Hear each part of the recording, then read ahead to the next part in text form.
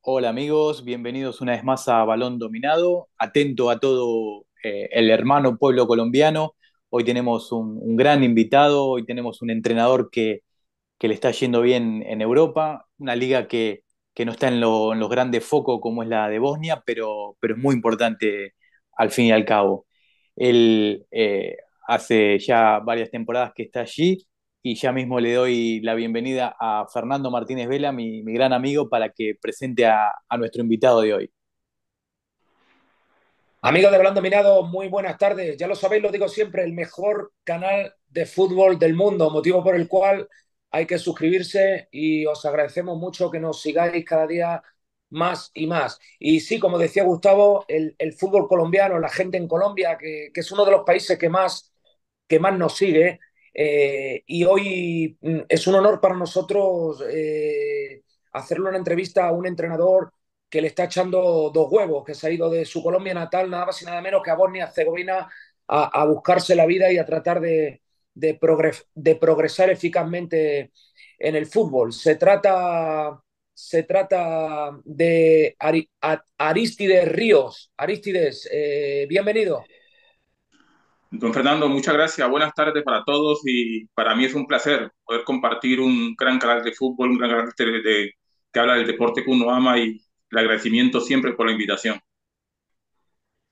Bueno, profe, eh, quería, quería empezar por, por la actualidad, ¿no? por, por el Borak Dubica de Bosnia-Herzegovina. Eh, ¿Cómo llegó la, la, invitación y qué análisis previo hiciste para tomar la, la determinación de, de ir a esa liga? Bueno, yo estaba en, en Colombia después de pasar una, un largo periodo en España. Volví a Colombia para trabajar con las academias de Barcelona y cuando estando en la ciudad de Cali, un empresario me dijo que hay una oferta en Bosnia para trabajar acá. El primer año no la acepté porque estaba bien en Colombia, la analicé perfectamente, luego estaba derivando por el país. Al año siguiente volvieron a insistirme y al final acepté la, la invitación y pues aquí estoy intentando aprender un poco día cada día más sobre el fútbol. Mister, yo, yo le quería hacer la, la siguiente pregunta.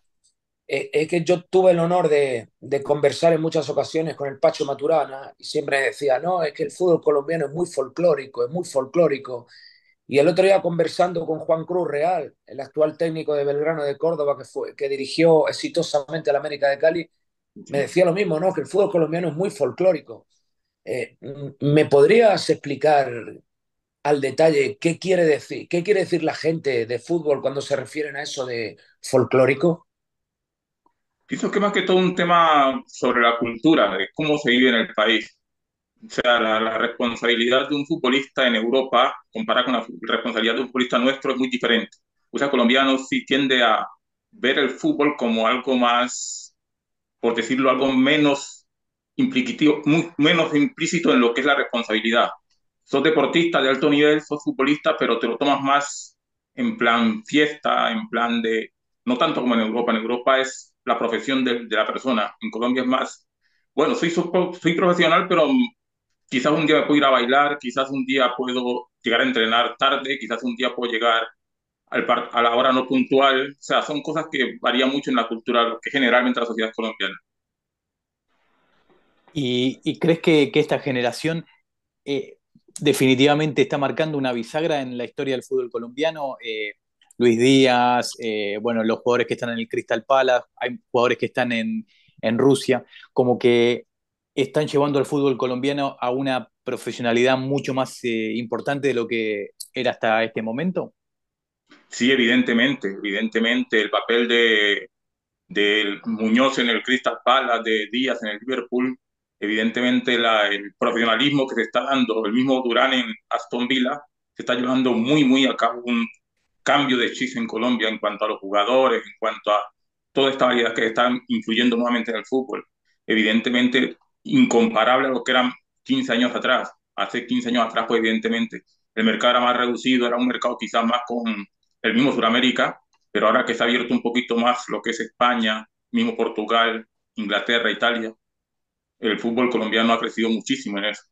El, o sea, el, el, punto de partida después de la generación de los Valderrama, los Rincón, los Asprilla, comparado con esta generación ahora, o sea, el cambio es absolutamente muy brutal, el cambio que están Mister, perdóneme que, vaya dando saltos eh, geográficos y cronológicos, que te pregunto lo que la inquietud que me viene al vuelo a la cabeza. Eh, a ver, yo conozco relativamente bien el fútbol, el fútbol bosnio. Eh, tengo relación con Pepe Hasibegic, que fue el, técnico de la selección. Eh, compartí club con, con Admir Smajic. tuve relación con, con Mejo Codro. Mm, te quería hacer dos preguntas en una. ¿Tanto culto al incumplimiento en los pagos hay en el fútbol bosnio? Y, y la segunda pregunta es si, si eh, el, el, problema, lo digo porque yo estuve en un partido hace poco tiempo del Fútbol Club Sarajevo y parecía como que los, los ultras, la hinchada radical del Sarajevo, gobernaban el club. Si el problema de los ultras es, es, es tan grave como, como, como a mí me pareció ver en, en Bosnia y Herzegovina. Sí, Fernando, la verdad es que el problema en cuanto a incumplimientos es muy grave. O sea, el problema de incumplimientos es una cosa que, que uno se pone a hablar y no termina. No termina porque se incumplen muchas cosas. Aparte lo del pago, aparte se incumplen muchas cosas. Y la verdad es que, hacer vida en Bosnia como entrenador de fútbol es complicado. Y luego también está lo que tú dices, ¿no? Eso de, de, del hincha, que pues tiene ese punto de radicalismo donde se sienten parte más allá de que los directivos de los clubes. Y en ocasiones también, si tú has vivido en Bosnia, también sabrás sobre los asuntos que se hablan aquí también de la el manejo que a los partidos cuando llegan a las fases finales de los torneos, en intereses de, un equipo de otro. O sea, es una situación bastante aún que uno puede hacer un libro con esto, porque es muy, ¿cómo se puede decir? Está muy arraigada la cultura de, del yo mando, el yo mando, del yo, del yo tomo y el yo ordeno. Y eso en funciones del resultado de un equipo u otro, se maneja mucho el tema de, o sea, no, me, no, no lo quiero decir porque pues queda un poquito raro, pero vosotros más o menos lo imaginás que, o sea, si te interesa el resultado de un partido, se puede conseguir, ciertos jugadores se pueden, se pueden acomodar, o sea, y luego está el incumplimiento de los pagos, que es una cosa que pasa en primera división, otras categorías también pasa, y es difícil, es difícil el tema en cuanto a eso. Y, profe, ¿cómo es el futbolista bosnio para, para todos los que nos están mirando? Eh, ellos pertenecen a, a, la ex Yugoslavia, ya sabemos que los croatas y los serbios son técnicamente muy buenos. ¿Y en qué punto comparativamente estaría el, el, el jugador bosnio? El bosnio técnicamente es un futbolista muy bueno, muy bueno. Y la verdad que es una contradicción porque técnicamente son prácticamente muy parecidos a los croatas. Lo que pasa, lo que yo más he analizado aquí en Bosnia a nivel de juego es que tienen mucha nobleza. Creo que le falta un, un punto de, de malicia que sí tiene quizás el suramericano y el futbolista de más de la Europa más, más, oriental. Porque en cuanto al bosnio, la técnica es muy buena, son biotipos de gente fuerte, grande, y son deportistas que pueden llegar al máximo nivel, pero a la hora de competir en los partidos tienen una nobleza y una falta de, ¿cómo se puede decir?, de, de estrategia a nivel deportiva que quizás los hace inferiores al resto de, de sus vecinos, ¿no? Como Croacia, mismo Serbia o la misma Montenegro. Sí, eh, Mister, volviendo a, aquella conversación que yo recuerdo con el gran Pacho Maturana, me decía que, que, el futbolista colombiano a la hora de adaptarse al fútbol europeo tiene un gran problema de, de disciplina táctica, de conceptos tácticos. Eh, no sé si estás de acuerdo con, con esa afirmación. ¿Y por qué sí, sucede eso? Sucede, pienso yo que sucede más que todo en la, en la, formación y también en la parte de la cultura, ¿no? De que pues nosotros tenemos la, por costumbre que el que es bueno no lo corregimos. El que técnicamente es muy bueno, el que técnicamente es un prodigio, pues generalmente no se le corrige, no se le exige, no se le pide. Simplemente se pone en el campo y como técnicamente es bueno, te soluciona muchas cosas técnicamente. Y generalmente ese es el futbolista que viene a Europa, que técnicamente es muy bueno. Cuando llega a Europa, donde hay unas exigencias, donde hay unas normas, donde hay unos códigos, le cuesta mucho adaptarse. Evidentemente que a los, a los colombianos nosotros nos ha servido mucho, muchísimo, el previo paso por Argentina, porque en Argentina pues una liga un poquito más competitiva, eso nos ha ayudado muchísimo. La gente que pasa por Argentina y luego a Europa se ve el nivel que trae, pero cuando directamente de Colombia a Europa se hace poquito un puente más difícil en cuanto a eso. Y, Y en cuanto a entrenadores, profe, eh, los últimos procesos fueron técnicos argentinos, Peckerman, ahora Néstor Lorenzo, que le está yendo bien. Eh, el profe Rueda eh, le está yendo bien, pero afuera. ¿Será que la prensa colombiana le tiene un poquito más de paciencia a un entrenador extranjero que a un entrenador colombiano? Es como que ustedes tienen que dar una, una prueba más, una lección más para poder tener un, una buena prensa. No, pero creo, creo que, Gustavo, creo que esto radica más que todo en la parte, el, el mismo jugador. El mismo jugador, porque el jugador de selección, que ya tiene un camino en selección, pues por sus condiciones, pongamos esta generación que está ahora con el profesor Lorenzo, siempre prefiere más tener a alguien que ya, ya lo tuvo y que tuvo éxito con esa persona, que quizás a improvisar sobre algo. Un ejemplo muy claro fue la no participación en el Mundial de Qatar. Con el profesor Pequeman fuimos a dos mundiales consecutivamente. El proceso se paró. Intentamos con entrenadores nuestros, entrenadores colombianos, y no pudimos ir al Mundial de Qatar. Ahora llega el profesor Lorenzo y está haciendo ya, no sé, 20 partidos, 19 partidos invictos, estamos tercero en la clasificación, estamos próximos a la Copa América y las ilusiones crecen, porque el mismo jugador prefiere es un entrenador con un perfil más adaptado a lo que es la necesidad del fútbol y no el entrenador que se acomoda a la realidad del país, que la realidad del país te obliga a hacer cosas que quizás no te gustan hacer. Mister, a ver, eh, los entrenadores que pasan por nosotros quedan, quedan bendecidos. O sea, un ejemplo, el otro día le hicimos la entrevista a Manolo Jiménez y al día siguiente lo contrató el, el Cerro Porteño de, de Paraguay. Eh, para, para el que no te conozca, ¿no? Por venderte un poco, ¿qué tipo de entrenador, cómo te autodefinirías? Es eh, Aristides Ríos. Bueno, primero que todo, ojalá y Dios le escuche, que así sea yo me defino como una persona, primero que todo, muy, muy consciente, muy coherente, muy coherente con la parte metodológica, la parte operativa. Para mí el fútbol es de los futbolistas. El fútbol es de los futbolistas y como tal tenemos que trabajar. Si a mí me presentan un equipo, de un equipo conformado, tengo que analizar realmente, como dije cuando vine aquí a Bosnia, que primero mire todo lo que era el entorno del país, la ciudad, donde iba, el entorno del club, la edad de los jugadores, en función de su recorrido uno tiene que hacer la planificación y adaptarse. Porque yo pienso que la coherencia en el de fútbol a nivel de élite es importante. No es lo mismo tener un jugador de 25 años que ya tiene 5 o 6 años en primera división a tener un juvenil que tiene sus primeros partidos en primera división. Entonces la coherencia me ha ayudado siempre a estar en la vanguardia de lo que es el nivel de entrenamiento. Prefiero ser un poco coherente a nivel personal, a nivel social y quizás no tan impositivo en la parte deportiva. Y creo que por ahí es la definición mía, la característica mía que me ha llevado hasta este momento, hasta acá en Bosnia y eh, tienes esa incorporada esa escuela colombiana de te gusta que tus equipos traten bien el balón con juego asociado o, o te gusta un, un, fútbol más, más directo como se puede ver eh, tal vez en Europa? Mira, Fernando, te cuento una, una, una, cosa. Yo en Colombia viví muy poco, porque yo, yo pasé más de veintipico años en, en Barcelona, en España, y estuve en varias ciudades, en varios países, en Bélgica, Italia, estuve recorriendo un poquito por, por ciertos países. Pero la mayoría de mi vida yo la hice en, en España, la hice en mi estudio, son de la Real Federación Española de Fútbol. Tuve en, entré en el Barcelona en el 2009, 2009 como hasta el 2018, que llegó la 2020 de la pandemia.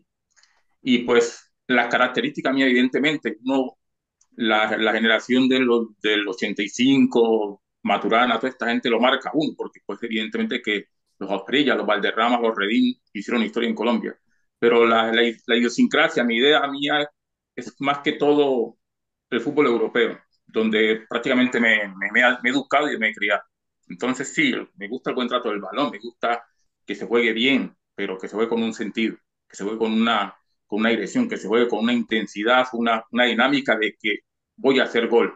No, no es no el fútbol de, de estar, de que prefiero un caño a, a ser efectivo, prefiero un, no sé, un, una gambeta, a dar un buen pase. O sea, a mí me interesa el fútbol como competencia, ganar con una idea.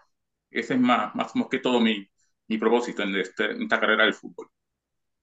Mister, una, una curiosidad, ya que estoy hablando con un, con un colombiano, eh, y así aprovecho para fastidiar un poco a mi amigo Gustavo.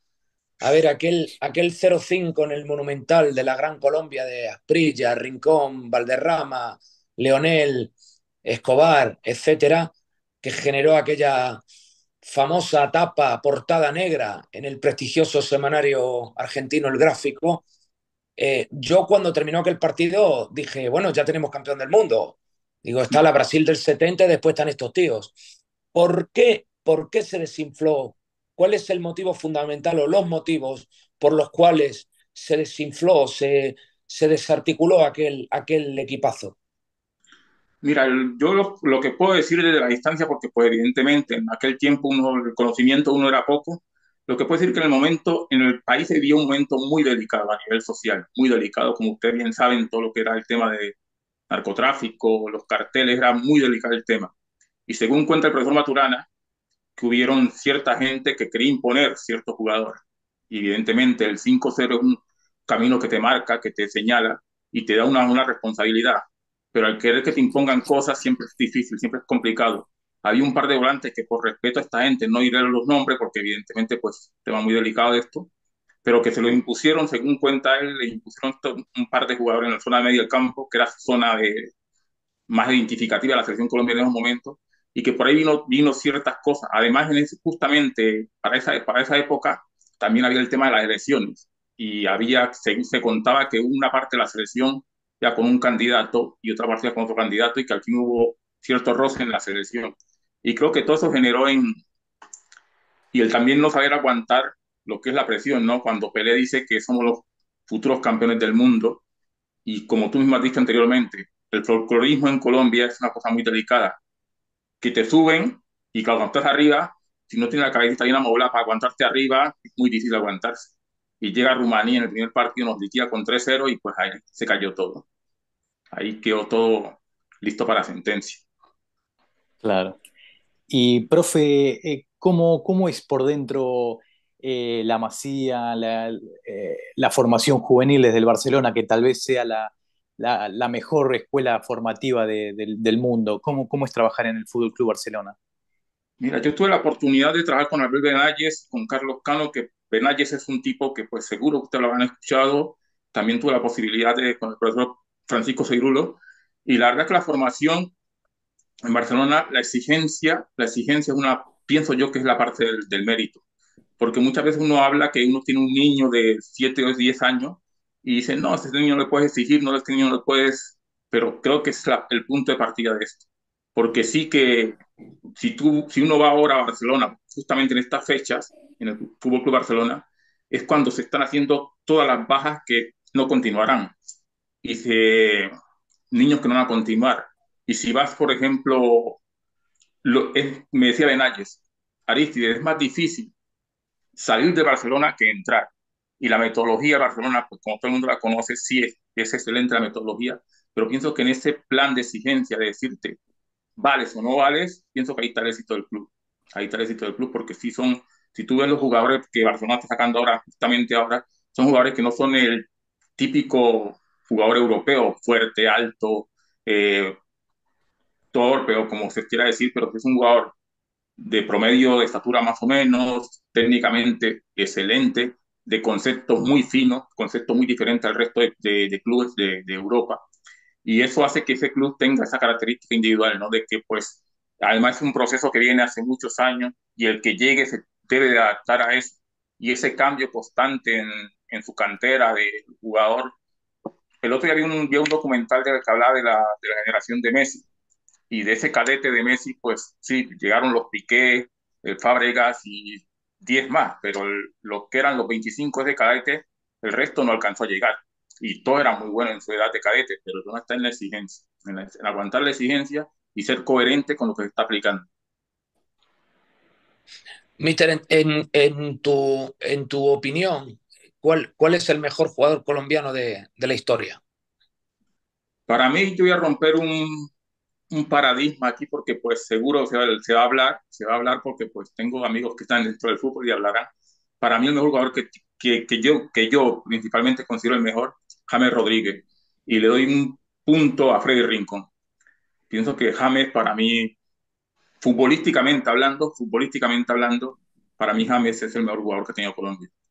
Después habrá gente que, que dirá que Valderrama, dirán que, que Asprilla, pero para mí James es sin duda alguna, el mejor futbolista que ha nacido Colombia. ¿Y por, por qué lo, lo hace el, el, mejor? ¿Por, por haber estado en el, en el, Real Madrid, por el Mundial 2014 que hizo? ¿Qué, qué es lo que hace eh, girar la balanza en, en favor de, de, James?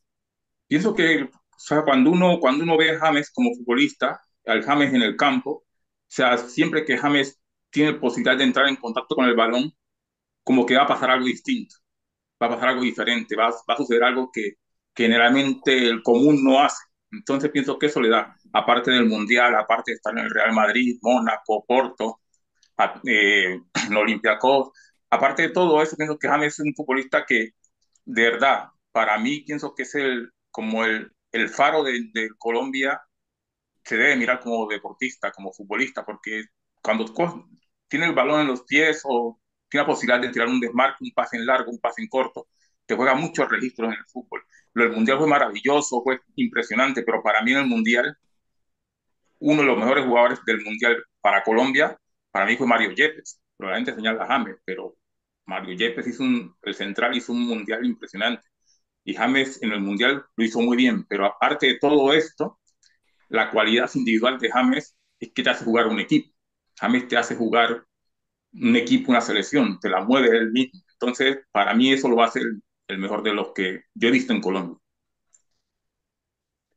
Mister, otra, otra curiosidad. Yo tenía un entrenador que cuando estábamos construyendo la plantilla nos ofrecía un jugador bosnio y decía, no, no, no, que estos tíos apuestan, estos se meten en apuestas y te venden los partidos. Después nos volvieron a ofrecer otro bosnio que andaba muy bien, lo recuerdo perfectamente. Y decía, no, no, no, es que estos tíos te van a vender los partidos, tal, tal. Quiero decir, ¿están así o, o, quizá era la experiencia que estuvo este hombre y, y, y tenía un trauma con, con eso y, lo, lo, y, era una hipérbole lo que me estaba exponiendo o, o, o se palpa esa, esa circunstancia?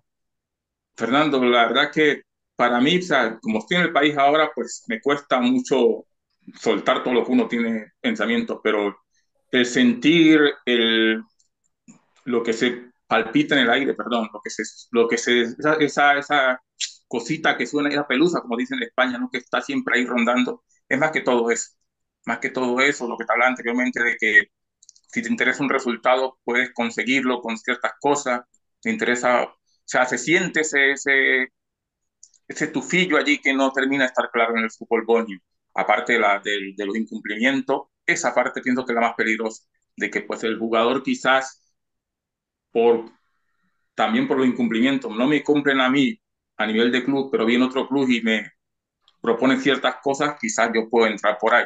Entonces, todo eso es lo que ha hecho que quizás el, el fútbol bosnio termine de dar el salto como lo ha hecho el croata o como lo ha hecho un poquito su, sus vecinos aquí cercanos ¿no? o los que eran de la antigua Yugoslavia. Perfecto. Y bueno, la última para mí, Fer, eh, le quería preguntar al profe eh, como dijo bien Fer, que eh, se, se, ve nuestro canal y así como Manolo Jiménez consiguió trabajo rápidamente, eh, ¿te gustaría probar suerte en otra liga, en España? O, o, crees que todavía tienes margen de mejora en, Bosnia? No, yo pienso que, que el, el, punto en Bosnia, por, la, lo que tal la coherencia anteriormente, Gustavo, pienso que ya llegó el momento uno intentar salir. A mí me encantaría probar suerte en otro sitio, de verdad, me encantaría porque pues uno es persona, uno quiere seguir creciendo, uno quiere seguir teniendo esa comodidad por el trabajo que uno hace, por la exigencia que, que es este deporte. Y la verdad pienso que ya llegó el momento de, de salir, llegó el momento de, de evidentemente buscar opciones, buscar un proyecto distinto, porque pues uno cuando intenta hacer las cosas bien y consigues ciertos diques, ciertos muros, es complicado, complicado y situaciones que no se puede uno permitir tanto a nivel económico como a nivel social, a nivel deportivo, y tiene uno que intentar mejorarlas. Y en ese intento de mejorar como persona, como deportista, creo que la idea, la idea en este momento es salir, acabar la temporada de la mejor manera posible e intentar conseguir un nuevo proyecto que te brinde toda esa garantía para tú crecer como deportista y como entrenador. Mister, voy con mi última pregunta. Bueno, más que una pregunta, es una anécdota que no sé si, uh -huh. si tuviste eh, sigo con los temas delicados, ¿no? que son lo mío. No sé si tuviste constancia, conocimiento de este problema.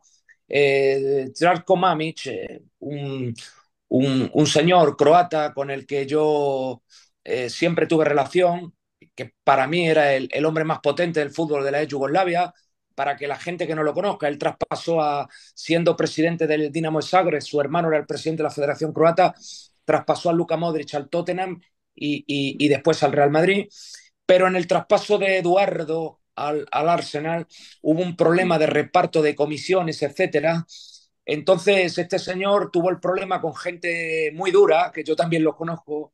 Eh, eh, yo nunca tuve un problema con ellos, pero son gente eh, eslava, vamos a decirlo así. Entonces, el, señor Mamic se escondió en Bosnia. Entonces hubo una, una videollamada entre cuatro y, y Mamic vino a decir, no, no, yo estoy en Bosnia, como diciendo, aquí estoy al seguro, aquí no podéis tocarme. Y uno de ellos dijo, en Bosnia no vas a estar seguro ni en la iglesia. Y a las dos semanas, creo recordar, le pegaron un tiro, le dispararon dentro de la iglesia. entonces, digo, digo, digo, no sé si eso tuvo mucha repercusión en Bosnia o quizás al, ser un tema muy delicado la, prensa lo, lo, lo, omitió. No, sí, eso, o sea, es lo que, lo que hablamos, ¿no? De que al ser un país, por ejemplo, usted, ustedes es español, por el acento creo que Gustavo creo que es argentino, y por lo que se habla, siempre hay temas tan delicados y la gente, pongamos, en España se le tiene un poquito de respeto mucho a la, Europa del Este, ¿no? lo que es Rumanía, lo que es Bosnia, toda esta gente aquí. Y sí, se, el tema se escuchó, pero como tú mismo dices, se intenta tener más que todo, porque como son gente de tanto poder y tanto influencia, pues si no está dentro de ese círculo, mejor no, tocarlo porque pues uno puede terminar en un, en un lío bien gordo. Bueno, profe, eh, excelente la charla, muy interesante. Conocimos un, gran entrenador que tiene mucho futuro, que tiene mucho para dar. Y te comprometo que la próxima entrevista ya sea en otra liga eh, para contar tus éxitos, ¿te parece? Dios lo escuche y que así sea que así sea. muchísimas gracias por la invitación, siempre a la orden, dispuesto para colaborar en lo que sea, más si es tema de fútbol, encantado de la vida. Pues eh, a, ver si, a ver si le podemos colocar en España de vuelta, que ahora, que ahora andamos por aquí.